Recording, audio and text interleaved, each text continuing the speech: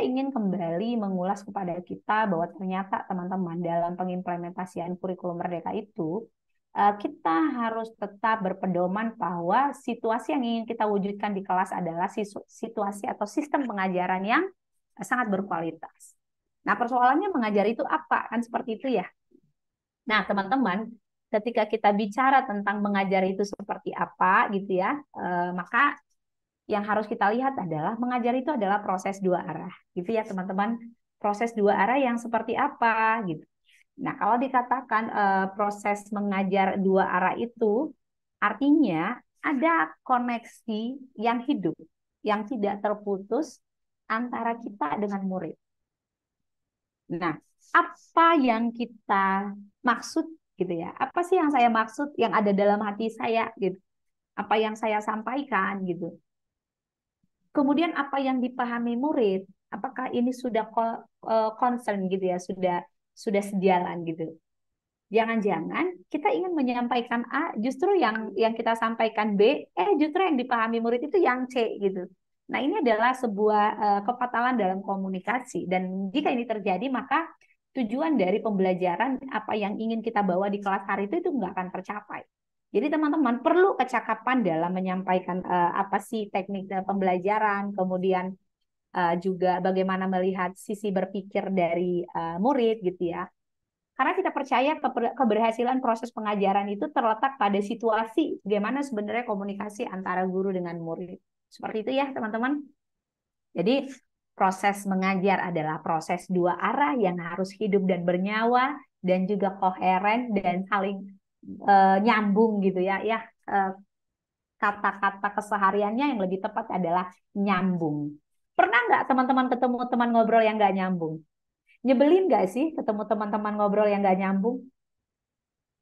bahkan mau ya kita itu kayaknya emosinya mau sampai melunjak kok kok saya bilangnya A dia tafsirnya Z gitu ya kan nah seperti itu ya teman-teman ya kita mau lihat lagi nah eh, selain juga perlunya eh, ada komunikasi dua arah ternyata juga mengajar itu harus menyenangkan nah komponen mengajar yang menyenangkan itu seperti apa teman-teman komponen mengajar yang menyenangkan adalah di mana waktu kita mengajar, waktu waktu proses belajar mengajar dalam satu pertemuan atau dalam satu take gitu ya. Itu anak-anak itu atau murid itu memang benar-benar bergerak, benar-benar melakukan sesuatu, benar-benar membuat sesuatu dan juga berbicara dalam kelompok. Kita bisa lihat empat poin ini, teman-teman. Anak-anak itu harus bergerak. Jadi ketika saya ngajar, misalkan anak-anak itu diam, adem gitu ya, karena anaknya diam, adem, eh anak-anak saya ini ini anak-anak manis ini, anak-anak luar biasa. Saya ngajar aja mereka diam-diam. Jadi teman-teman, diam bukan sebuah indikasi bahwa terjadi proses belajar bermakna dan menyenangkan di kelas itu. Kita justru harus hati-hati. Kenapa murid-murid diam?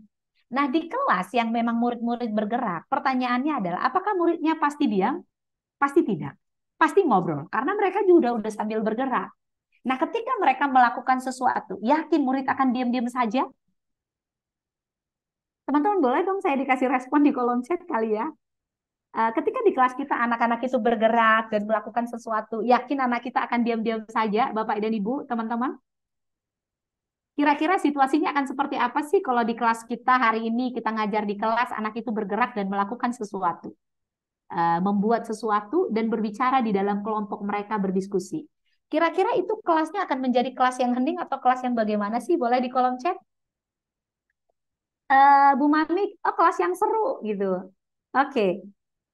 Kira-kira anaknya akan diem-diem aja atau diskusi atau ribut sih? Bu Mami bilang kelasnya bakalan seru. Oke, Bu Siti, suasana kelas akan hidup. Oke, yang lain silakan dong teman-teman kita diskusi nih.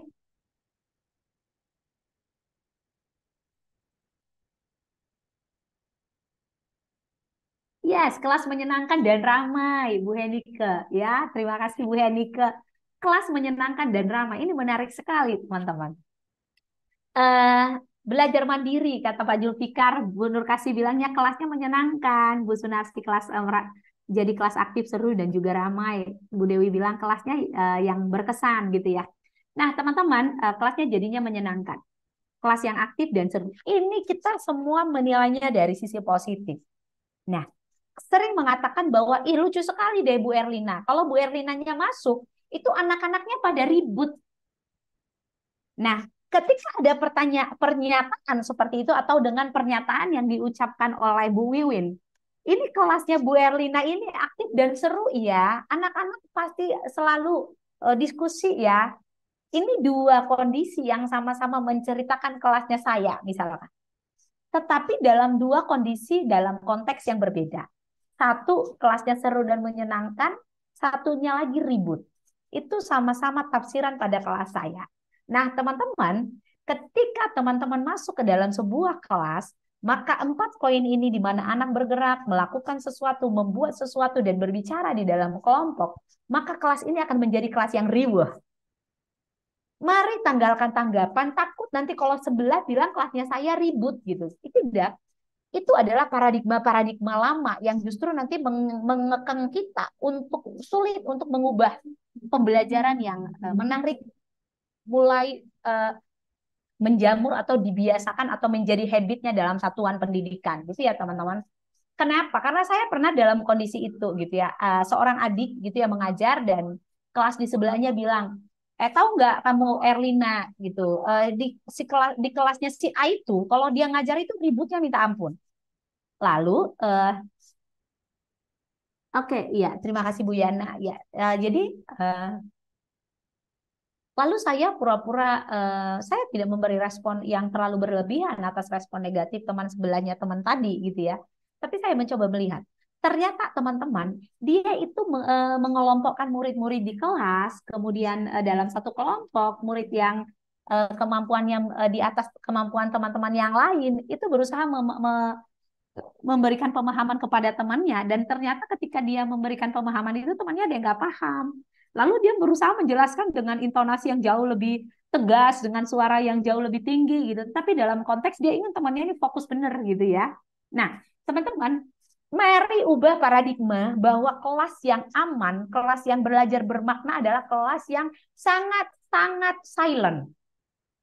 Mari ubah bahwa kelas yang menyenangkan itu ya kelas yang asik, ada diskusi, ada ngobrol, ada tertawa, ya nggak apa-apa ya teman-teman. Eh, situasi menyenangkan harus muncul. Kenapa? Itu kebutuhan dasar. Kita harus mengamini itu ya. Oke, baik. Kita mau lanjut.